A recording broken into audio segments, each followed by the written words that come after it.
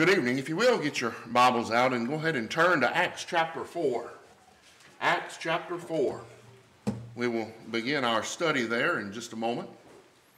In Acts chapter 4. I want you to know that it is a privilege to be with you this evening. There are so many of you that I know and have known for many, many, many years. And uh, it's uh, really not like I'm visiting anywhere because I know so many of you. It uh, is just a pleasure to be here. I have so much, so much respect for, for Brother Wes. He and, and my family have been friends for as long as I can remember. He was very close with my grandfather and, uh, and uh, spoke at his funeral and just have the utmost respect for him, not only as, as a friend, but as a, a preacher of God's Word. He is so knowledgeable and preaches the truth, and you are blessed to have him with you here. Uh, for those of you who don't know me, um, of course, has been announced, I'm Landon Manning. I uh, uh, preach on Sunday mornings at the Pleasant Grove congregation. Been doing that for about six years now. Um, we have a, a, thing worked out to where brother uh, brother Philip Owens, of course, is there. Uh, I preach on Sunday mornings, and he teaches Bible class and then he preaches on Sunday evenings and does Bible class on Wednesday evenings. But with, uh, with me preaching, that allows him to do some extra work out in the community, and he holds a couple of classes each, uh, each week, and then he also uh, goes, to, uh, goes to the prison with Brother, Brother Cooper and, and several others.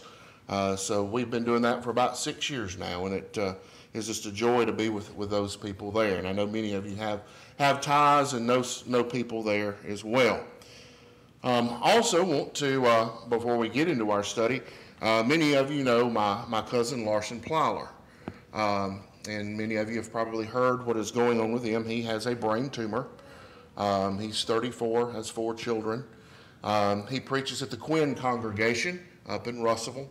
And uh, he is to travel uh, tomorrow uh, up to Memphis to Le Hospital, uh, where they'll begin some tests early uh, Tuesday morning, kind of some brain mapping to figure out where speech and uh, other other things that, that go on uh, in his uh, uh, in his brain are, and then he will have about a 12-hour surgery on Wednesday, uh, and then they'll get a 24-hour path report, and then a final path report in about two about two weeks. But please keep him in your prayers. It's very serious. The tumor's about the size of an egg. Um, but it hasn't slowed him down. I got to spend Thursday, part of the day with him, but he actually preached this morning at Quinn. Um, and uh, almost an eerie uh, title, but he preached on uh, the to live is Christ and to die is gain, uh, which is, uh, is almost humbling knowing the situation that he is in. I want us to, in our study this evening, to reflect upon ourselves. I want us to look into the mirror and examine ourselves as we go through the study this evening. It's a study of, of self examination. As, as, as Shrek would say, I want us to peel back the layers of the onion and to examine ourselves for who we truly are. I want us to be honest about that. You see, there, there, there's two ways that people often look at themselves. Oftentimes, they're their own worst critic, and sometimes they're so blind that they don't see what's going on in their lives. I want us to look at ourselves this evening and examine ourselves according to God's Word so that we can be the best child of God that we can possibly be. I want us to start out this evening by asking you a few questions just to get us to thinking about our study. What are you known for? What are you known for? Are you known for being helpful? Maybe kind or loving? Maybe funny? Maybe an optimist or a pessimist? Are you known for being truthful? What about maybe being short fused or angry? Or maybe lazy? Or maybe a gossiper? Are you known for having a strong faith Are you known for having a weak faith? Are you known as a Christian? The list could go on and on, but I, I want you to think about how you are known. I want us to think about what does our family say about us? Are we a good husband? Are we a good wife? Are we an obedient child? Are we a good representative of what a Christian should be? What do your friends say about you? Do they say, oh, he's, he's faithful, he's a Christian? Or do they say, oh, no, they're, they're, they're two faced? They act one way with a certain group of friends, a certain group of people. They act another way with another group. And we probably all know people like that. What do your fellow Christians say about you? I know of some so called Christians who will drink, speak profanities, dress immodestly when they're with friends, and then try to portray to be the best Christian around those of the faith. And you may be able to think of some people that are that way as well.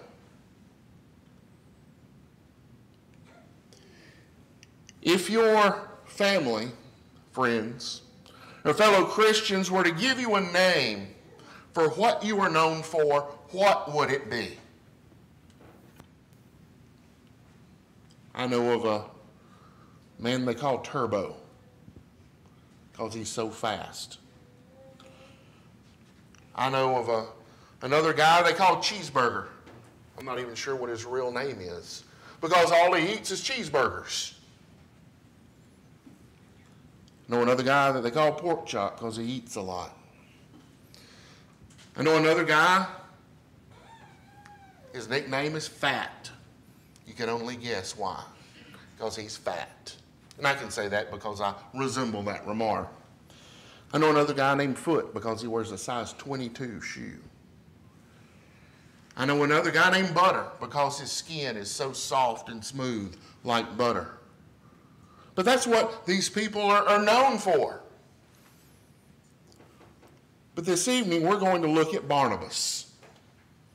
How are you known? In Acts chapter 4, if you turn there, you look at verse 36, it says, Thus Joseph, some of your versions may say Joses, who was also called by the apostles Barnabas, which means son of encouragement, a Levite, a native of Cyprus. We see here what Barnabas was called. And he was called by what he was known, the encouragement that he gave. And we'll look more at that here as we go through our study. If you think about the society in which we live, we live in a society that is self centered, that is all about me. But as we will go through our study, we'll see that Barnabas was not that way. We're going to take a look at Barnabas this evening and why he was called the son of encouragement and we're going to take some of those things and make some application to our lives. I love to read different translations of the Bible. It gives us oftentimes a clearer understanding of God's Word and what is meant. Looking at that passage there in Acts chapter 4 and verse 36, the Old American Standard Version says in Joseph, who is the apostle, was surnamed Barnabas, which is being interpreted son of exhortation. The Old King James Version calls him son of consolation. The New American Standard renders it son of encouragement. And then the Young's literal translation interprets it son of comfort. Are you those things? Are you an encourager? Are you a comforter? Are you an exhorter? Are you a consoler? If not, why not? Could these things be said about you? Let's look a little bit deeper at the word that is used here. The word encouragement is paraklesis. Strong's G3874. It is used in the Bible 29 times in 28 different verses. Consolation, exhortation, comfort, entreaty. It's a calling near or a summons, especially for help. It's an imploration, a supplication, an entreaty, an exhortation, an admonishment, encouragement, consolation, comfort, solace, that which affords reverence of comfort and refreshment. It's a persuasive discourse, a stirring address.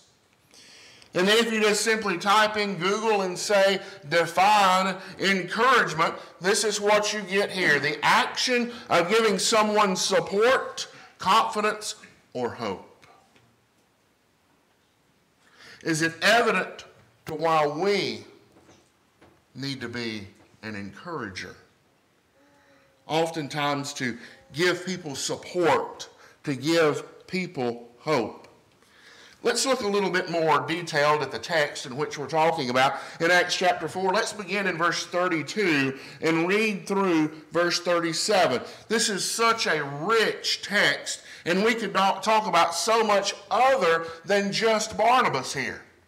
But beginning in Acts chapter 4 and verse 32, it says, Now the full number of those who believed were of one heart and soul. And no one said that any of the things that belonged to him was his own, but they had everything in common. And with great power, the apostles were giving their testimony to the resurrection of the Lord Jesus, and great grace was upon them all. There was not a needy person among them, for as many as were owners of lands or houses sold them and brought the proceeds of what was sold and laid at the apostles' feet. And it was distributed to each as any had need. Thus, Joseph, who was also called by the apostles Barnabas, which means son of encouragement, a Levite, a native of Cyprus, sold a field that belonged to him and brought the money and laid it at the apostles' feet. There's so much going on here, not with just Barnabas, but with the group of Christians that are there. It shows how tight knit that they are and how they cared for one another. There was help given anywhere that it was needed. No one was in need. The unity that we see here. Do we see this kind of unity today? I don't know that we do. Imagine what's going on here, how close that they are. Would you be willing to do that? Would you be willing to sell something of great value and give it to those saints who were needy? We see that Barnabas did. He sold something of high value and he gave it to the apostles to be distributed to the needy saints. I also want us to realize here who gave Barnabas this name. The apostles gave Barnabas his name, son of encouragement. These are the same apostles that were chosen by Jesus Christ. They would not have taken this lightly. He was given this name by the apostles. And I think that that's very important for us to realize in our study because it shows how he was known and what he was known for. They would not have given him this name if there would have been any question about his character, about his actions or about who he was.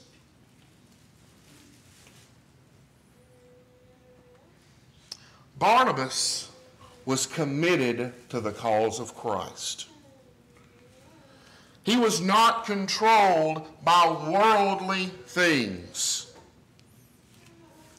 We see in Hebrew, or in, excuse me, in Matthew's chapter 6, in verse 21, for where your treasure is, there your heart will be also.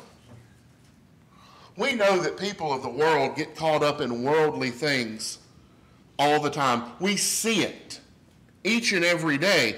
But oftentimes, I'm afraid that Christians get caught up in worldly things as well. You see, where your treasure is, there is your heart.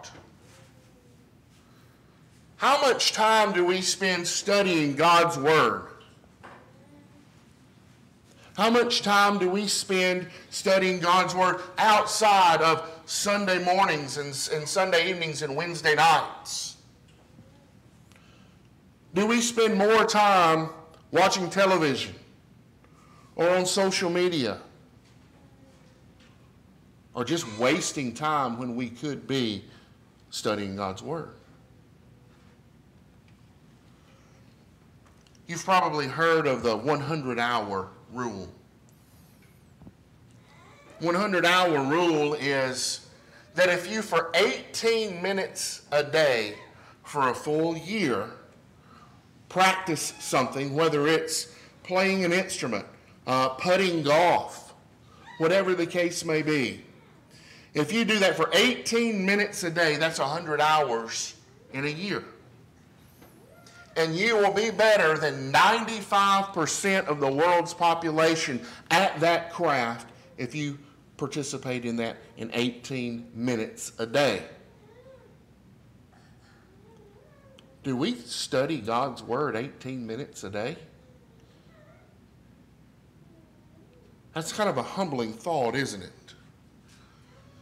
We call ourselves Christians. We're committed to the cause of Christ. Yet, our actions show that maybe our treasure is really somewhere else. As I said at the beginning, examine yourself as we go through this study. Look in the mirror. Give an honest reflection of what you see. And if you don't like what you see, fix it, change it. he did not love in word only. He showed it. We see that there in 1 John chapter 3, verses 17 and 18. It says here, But if anyone has the world's goods and sees his brother in need, yet closes his heart against him, how does God's love abide in him? Little children, let us not love in word or talk, but in deed and in truth.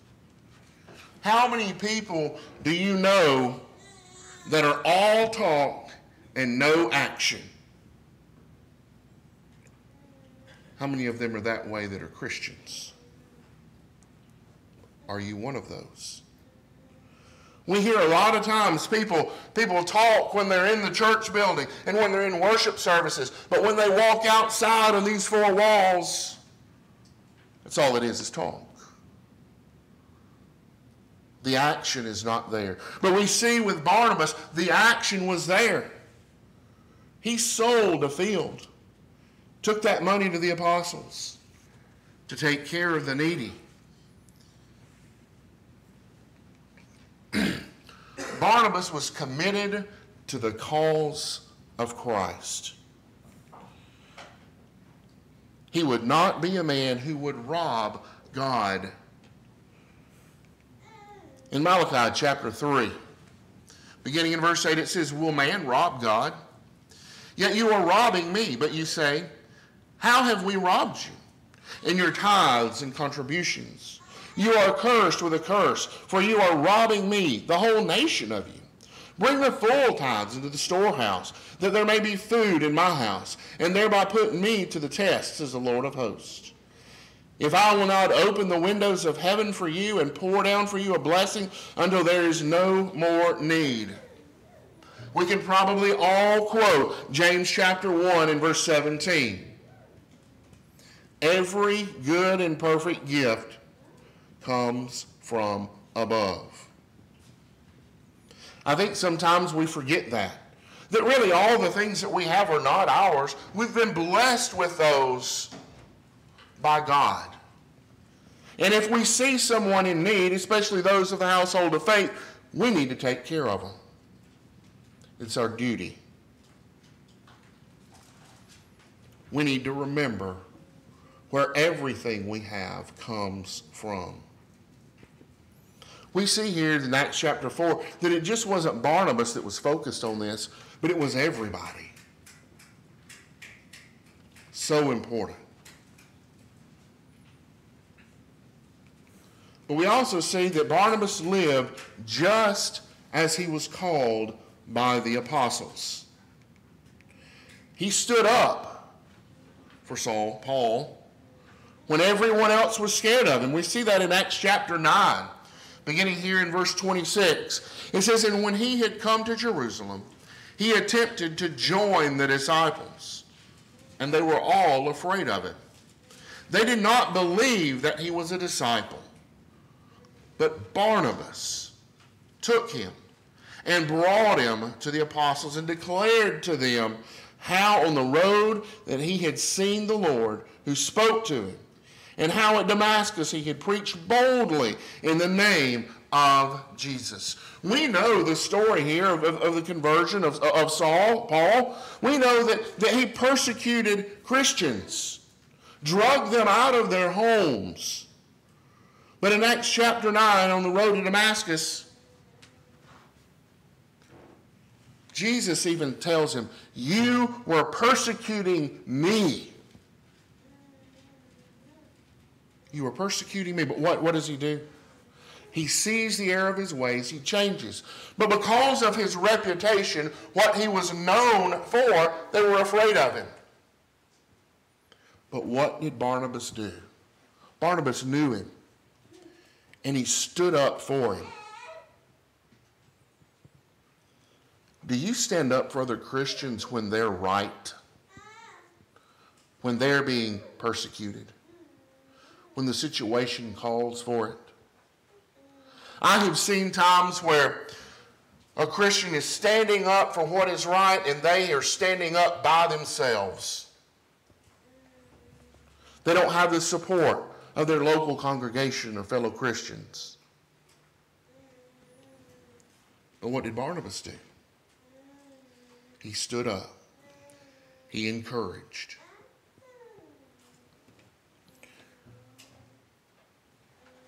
He exhorted the church at Antioch. In Acts chapter 11, beginning in verse 19 and reading through verse 26, it's a little bit lengthy reading, but I think it's very important for us. It says, Now those who were scattered because of the persecution that arose over Stephen traveled as far as Phoenicia and Cyprus and Antioch, speaking the word to no one except Jews. But there were some of them, men of Cyprus and Cyrene, who on coming to Antioch spoke to the Hellenists also, preaching the Lord Jesus. And the hand of the Lord was with them, and a great number who believed turned to the Lord. The report of this came to the ears of the church in Jerusalem, and they sent Barnabas to Antioch. When he came and saw the grace of God, he was glad, and he exhorted them all to remain faithful to the Lord with steadfast purpose. For he was a good man full of the Holy Spirit and of faith. And a great many people were added to the Lord. So Barnabas went to Tarsus and took Saul. And when he had found him, he brought him to Antioch. For a whole year they met with the church and taught a great many people. And in Antioch, the disciples were first called Christians. Have we thought about that, that, that, Barnabas was, was part of that, responsible for that exhortation of those at Antioch where they were first called Christians? Have we thought about that? He had a hand in it. I ask you this evening what do you do for the church? What do you do for the church here at North Bibb? What do you do individually?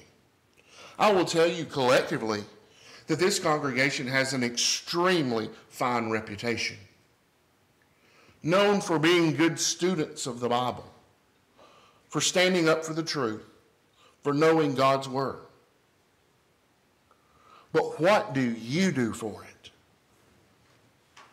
Do you help or do you hurt what this congregation is known for? How are you known outside these four walls? Do they say, oh, he's a, he's, he's a member at North Bibb. There's some fine people there. They're strong in God's Word. They're great Christians. Or do they say, he goes to North Bibb, he is a hypocrite. He goes to church and then he's out drinking and partying and running up and down the road, using foul language. What are you known for? We see what Barnabas was known for, but what are you known for?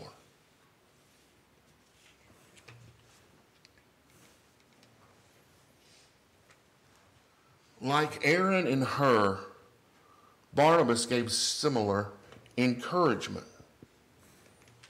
In Exodus chapter 17, we probably all remember the story here in Exodus chapter 17 beginning in verse 10. It says, So Joshua did as Moses told him, and he fought with Amalek. While Moses, Aaron, and Hur went up on top of the hill. Whenever Moses held up his hand, Israel prevailed. And whenever he lowered his hand, Amalek prevailed. But Moses' hands grew weary. So they took a stone and put it under him, and he sat on it while Aaron and Hur held up his hands on one, one on one side and the other on the other side. So his hands were steady until the going down of the sun. Do we stand by other Christians and hold them up when they are weak? Do we lift them up when they need it the most? Maybe when they're sick when they've lost loved ones? What about when they're spiritually sick? Do we encourage them? Do we stand beside them? Do we lift them up? Oftentimes, I've seen people who are in sin, living in sin, that those of the faith turn their back on them. I don't want to be around them. But sometimes all they need is a little bit of encouragement, somebody to stand there with them, to lead them back, to hold them up. We see what Barnabas did for Paul. He wasn't well known, was he? But he stood up for him, he encouraged him. We see what Aaron and Hur did for Moses. 1 Thessalonians chapter 5 and verse 11. Therefore, encourage one another and build up one another, just as you are doing. I ask you, are you doing that? Are you building up one another? So many Christians tear each other down, many times to make themselves look good. They just put others down. You know, the thing about encouragement is it's so easy. Sometimes if someone's sick, send them a card, phone call, text. It really literally doesn't cost much, does it? But how good does it make them feel? But you see, encouragement and helping others is a two way street because it helps you as well. You feel like you've accomplished something, you've done something good. In this day and time, so many people are takers and not givers. We need to encourage one another. We need to give encouragement to each other.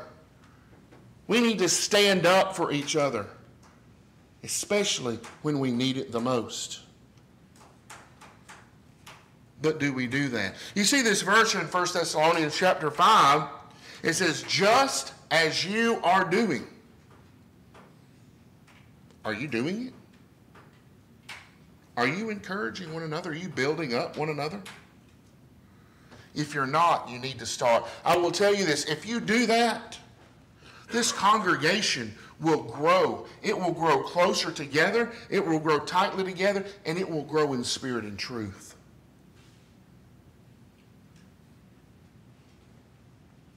We must encourage one another. We must build up one another. We also see that, also see that Barnabas was forgiving. We know the story of John Mark when he left Paul and the others. We know that there in Acts chapter Acts chapter 13 in verse 13. It says now Paul and his companions set sail for Paphos and came to Perga and Pamphylia. And John left them and returned to Jerusalem. But they went on from Perga and came to Antioch in Pisidia. And on the Sabbath day they went into the synagogue and sat down. We know that when John Mark left here, that, that, that it created some doubt.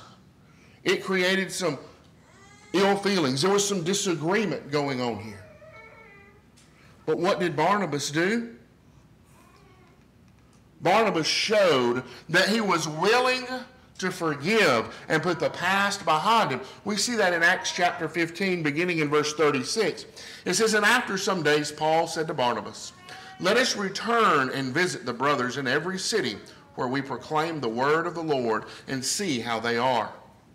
Now Barnabas wanted to take with them John, called Mark. But Paul thought, thought best not to take with them the one who had withdrawn from them in Pamphylia and had not gone with them to the work. And there arose a sharp disagreement, so that they separated from each other. Barnabas took Mark, took him with him to, and sailed to Cyprus. But Paul chose Silas and departed, having been, having been commended by the brothers to the grace of the Lord. And he went through Syria and Cilicia, strengthening the churches. You see, Barnabas stood up for John Mark enough that he took him with him to spread God's word. He knew what he was worth. Do we stand up for our brethren? Do we know their worth? But more so, are we willing to forgive one another?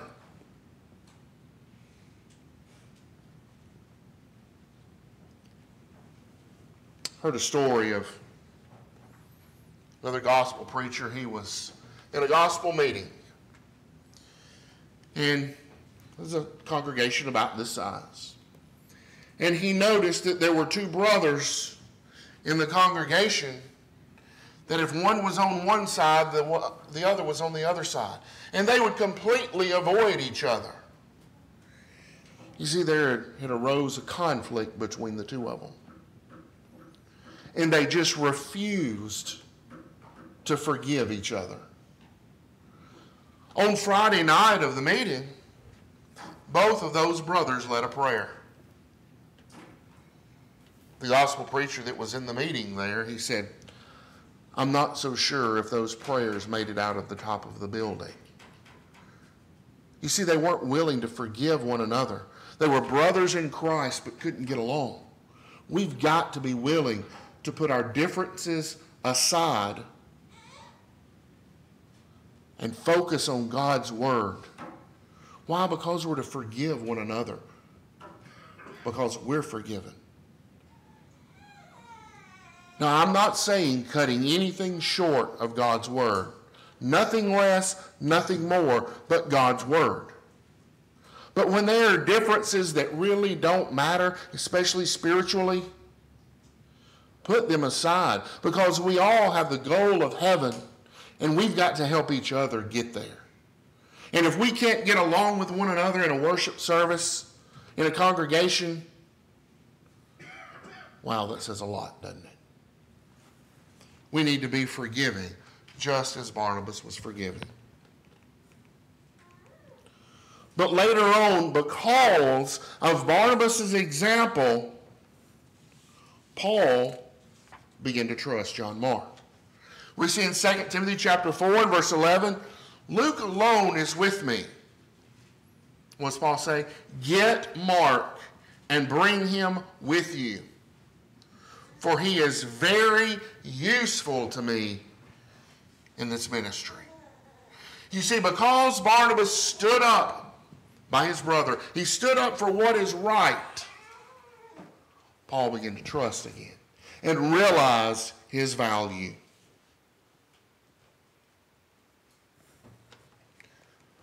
What if Barnabas had not stood up for John Mark in Acts chapter 15? What would have happened? Would he have remained faithful? We don't know. Would some of those that he helped, even Paul, his usefulness in the ministry, what would have happened without him? We don't know. But what we do know is because Barnabas stood up for him and knew his value, Paul began to trust him and saw his value as well. We need to stand up for our brethren. And I don't think we do a good job of that sometimes. We have to do that by knowing each other, by being around each other other than just a few hours a week that you're here. You see, the Lord's design of the church is so wonderful. We can help each other. We can lean on each other. We can encourage each other. We can build up each other. And we can hold each other up when we need it. But do we take advantage of it and do we do it? Take a look in the mirror. How are you doing? I want to leave you with three thoughts this evening. Barnabas, the son of encouragement, was certainly the right name for him.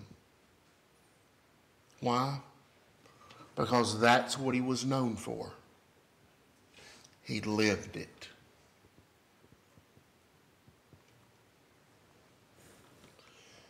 If you were to be giving a name based on how you live, what would it be?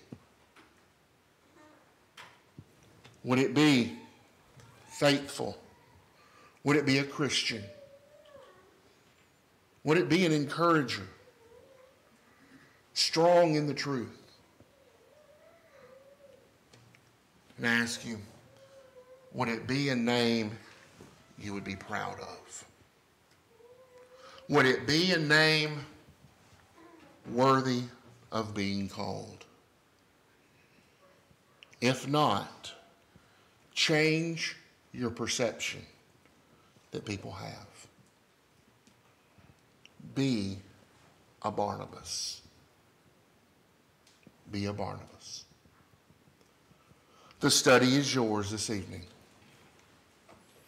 I want to encourage you to be the Christian that you ought to be, to be the congregation that you ought to be, to help each other get to heaven. If you're not the Christian that you ought to be, fix it, change it. Hopefully you were looking in that mirror this evening and seeing how can you be the Christian you ought to be? How can you be better?